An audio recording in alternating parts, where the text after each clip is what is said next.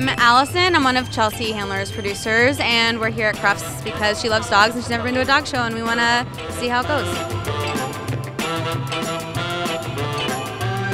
She's just been meeting a lot of dogs. She loves dogs, so we uh, met a lot of chows, a lot of big fluffy dogs, lots of little dogs, learned to walk with dogs, um, watched some of the heel work to music, which was really fun, did some agility, and yeah, that's all.